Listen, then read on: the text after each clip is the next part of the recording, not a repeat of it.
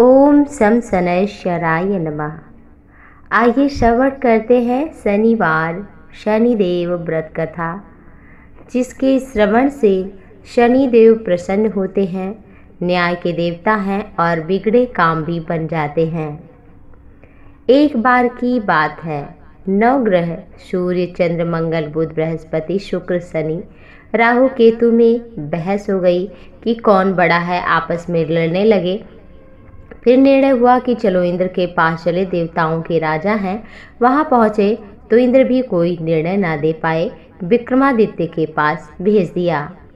राजा विक्रमादित्य के पास सभी गए और अपनी समस्या को सुनाया। राजा विक्रमादित्य सोचने लगे, क्या करूँ? बहुत सोच विचार के बाद कहा, स्वर्ण रजत, कांस, पीतल, सीसा, रांगा, जस्ता, अभ्रक लौ नौ सिंहासन बनवाकर और उसी क्रम में जिसका जो धातु था उस पर बैठा दिया।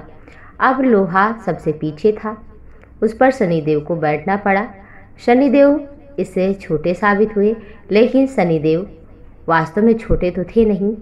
उनका आसन पीछे था और फिर वो नाराज़ हो गए। राजा से बोले, जानते नहीं हो, एक राशि में सूर्य एक महीना, चंद्रमा सवा दो महीना, मंगल डेढ़ महीना, बृहस्पति तेरह महीना, बुध शुक्र एक एक महीना विचरण करते हैं, लेकिन मैं ढाई से साढ़े सात साल तक रहता हूँ। बड़े बड़े का विनाश करता हूँ। भगवान राम को भी जंगल जाना पड़ा। शनिदेव क्रोधित होकर राजा को इस तरह बोले, इतना कहकर शनिदेव वहाँ से चले गए। समय बीता गया और फिर साढ़े साथी राजा पर आ गई।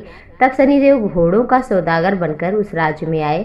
बहुत अच्छे नस्ल के घोड़े थे। जब राजा को सौदागर के घोड़ों का पता चला तो अशुपाल के अच्छे घोड़े खरीदने के लिए भेजा। अशुपाल ने कई अच्छे घोड़े खरीदे। इसके अलावा सौदागर ने उपहार स्वरूप एक सर्वोत्तम नस्ल के घोड़े को राजा की सवारी हेतु दे दिया। राजा विक्रमादित्य जैसे उस घोड़े पर बैठे वह सरपट बन की ओर भागने लगा। जंगल के अंदर पहुंचकर वह गायब हो गया। भूखा प्यासा स्थिति में राजा जंगल में भटकते रहे। अचानक उन्हें एक ग्वाला दिखाई पड़ा, जिसने राजा की प्यास बुझाई। राजा ने प्रसन्नता से अंगूठी निकाल करके दे दिया नगर की तरफ़ चल पड़े। एक सेठ की दुकान पर पहुँचे, वहाँ जल पिया अपना नाम बीका बताया। भाग्यवश सेठ की उस दिन बहुत आमदनी हुई तो खुश होकर अपने साथ घर ले गया। सेठ के घर में खूटी पर हार टंगा हुआ था, जिसको खूटी निकल रही थी। थोड़ी ही देर में हार गायब हो गया।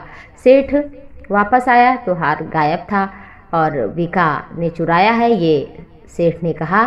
सेठ ने बीका को कोतवाल से पकड़वा दिया और दंड स्वरूप राजस्व से उसे चोर समझकर हाथ पैर उनका कटवा दिया, अपंग बना दिया। अब तभी वहाँ से एक तेली उधर से जा रहा था। बीका पर बड़ी दया आई, गाड़ी में बैठा कर के ले गया और बैल को हाँकने का कि तुम बस यही कहते रहो। बैल को हाँकने के लिए और मुँह से बोलते रहो। कुछ समय पश्चात राजा की सनी दशा समाप्त हो गई। वर्षा काल आने पर बीका मल्हार गाने लगे। एक नगर की राजकुमारी मनभावनी ने मल्हार सुनकर मन ही मन प्रण कर लिया। जो भी इस राग को गा रहा है, वो उसी से ही विवाह करेगी। उन्होंने दासियों को खोजने के लिए भेजा, परंतु वापस आकर सभी ने बताया कि वो तो एक अपंग आदमी है।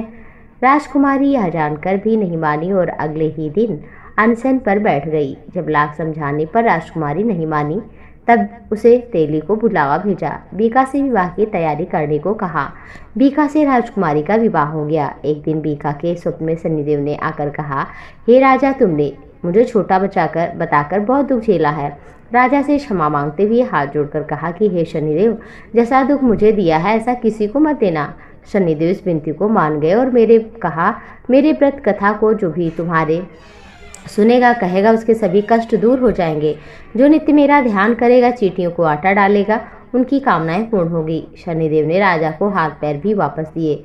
दूसरे दिन सुबह राजकुमारी की आँख खुली तो आश्चर्यचकित हो गई।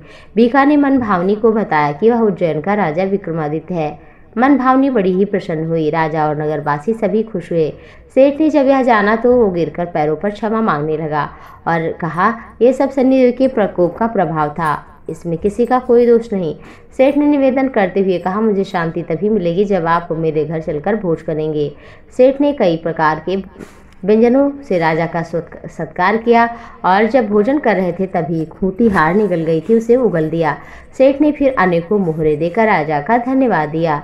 अपने कन्या सिंह श्री कंवरी से पाणी ग्रहण का निवेदन किया। राजा ने उसे शहर से स्वीकार किया। राजा अपनी दोनों रानियों मन भावनी कंवरी को लेकर उज्जैन नगरी लौट आए और जब देखा लोगों ने तो सारे नगर में दीपमाला और खुशी मनाई गई।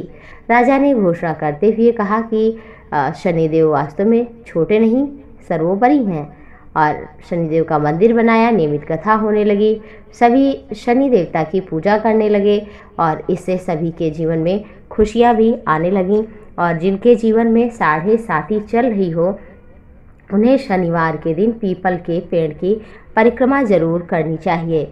इससे शनि देवता प्रसन्न होते हैं। काला धागा, काला जूता, काला छाता और काला तिल इत्यादि का दान करना चाहिए। गरीबों को भोजन कराना चाहिए। काली गाय, काले कुत्ते को विशेष रूप से भोजन कराना चाहिए। इससे बहुत ही शुभ और मंगल होता है। शनि देवता प्रसन्न होते हैं। शनि देवता जिस पर प्रसन्न हो, उसकी सभी कामनाएँ पूर्ण हो जाती हैं और उसके बिगड़े काम भी सुधर जाते हैं। तो शनिवार को आप ज़रूर इस शनिवार, शनिदेव के व्रत की कथा का श्रवण करें। इससे शनि देवता प्रसन्न होंगे। सरसों के तेल का दीपक भी आप जला सकते हैं। और अगर आप सरसों के तेल का दीपक जलाएँगे तो फिर आप के जीवन में शनि का जो कुप्रभाव है वो अच्छा होगा और समाप्त हो जाएगा। इससे आपके जीवन में जो नकारात्मकता बन रही है, वो ख़त्म होगी और शनिवार को कुछ ऐसे कार्य हैं जिन्हें करना भी नहीं चाहिए। शनिवार के दिन लोहा का दान तो बहुत अच्छा माना जाता है, परंतु लोहा खरीदना नहीं चाहिए। दान करने के लिए पहले से ही लोहा खरीद लेना चाहिए। शनिवार को शराब पीना वैसे कभी नहीं अच्छा होता, परंतु विशेष रूप से शनिवार को ना माने, नहीं तो आपके जीवन में अच्छे भले जीवन में तूफ़ान आएगा। इस दिन, उस यानी शनिवार के दिन ईशान दिशा में यानी उत्तर पूर्व दिशा में यात्रा नहीं करना चाहिए। अगर ऐसा आप कर रहे हैं तो आप अदरक खा लीजिए और इससे पाँच कदम उल्टे पैर पीछे की ओर चले, फिर कहीं जाएँ। नंबर, अगर बात करें, लड़की को शनिवार के दिन विदा नहीं करना चाहिए। शनिवार के दिन तेल, लकड़ी, कोयला, नमक, लोहा, ये जो है, खरीदना नहीं चाहिए। इनका दान करना उत्तम माना जाना, जाता है। शनिवार के दिन नाखून या बाल नहीं काटना चाहिए। इस दिन नमक, तेल, चमड़ा, काला तिल, काले जूते, ये सब बिल्कुल नहीं खरीदना चाहिए। नमक खरीदने से कर्ज बढ़ता है। कागज़, कलम, झाड़ू खरीदना भी नहीं चाहिए। शनिवार को दूध और दही का सेवन अगर आपके जीवन में साढ़े साथ ही चल रही है तो ना खाएँ, पिए। अगर पीना हो तो गुड़ या हल्दी ज़रूर मिला दें। इस दिन बैगन, आम का अचार, लाल मिर्च भी नहीं खाना चाहिए। झूठ बोलने से भी नुकसान होता है। इस दिन गरीब, अपंगे या मजबूर महिला का अगर आप अपमान करते हैं तो आपके जीवन में विपत्तियों का ढेर लग जाएगा। इसलिए इनका अपमान भी ना करें। और आइए जान लेते हैं शनि देव के बारह नाम, जिनसे आपका होगा कल्याण। ओम सम शनैश्वराय नमः। शनिदेव के ये बारह नाम जीवन में मंगल ही मंगल करते हैं। कोणस्थ, पिंगल, वभ्रु, कृष्ण, रौद्रांतक, यम, सौरी शनैश्वर मंद, पिपलाश्रय।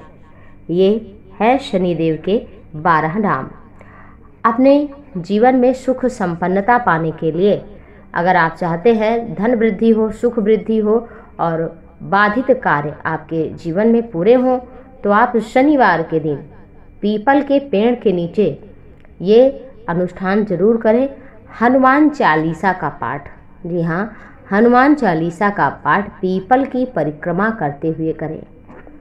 पहले जल चढ़ाएँ, काले तिल चढ़ा दें और उसमें साथ ही साथ दीपक जला दें सरसों के तेल का।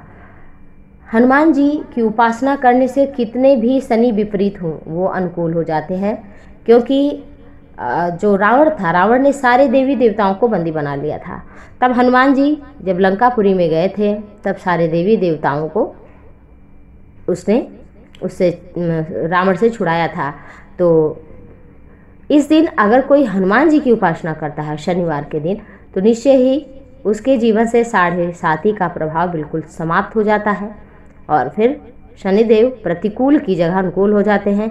शनिदेव आपको आपके कर्मों का शुभ फल प्रदान करते हैं, अशुभ फल प्रदान करते हैं। तो उनकी अनुकूलता होगी तो शुभ कर्म आपके शुभ रूप में आएँगे। आप सभी को कथा अच्छी लगी हो, जानकारी अच्छी लगी हो तो फिर वीडियो को लाइक करिए, दोस्तों को शेयर करिए चैनल को सब्सक्राइब करिए। जय जय जय शनिदेव। ओम शम शनैश्चराय नमः। नीलांजन समाभाषम रविपुत्रम यमाग्रजम छाया मारतंड संभूतम तम नमामि शनैश्वरम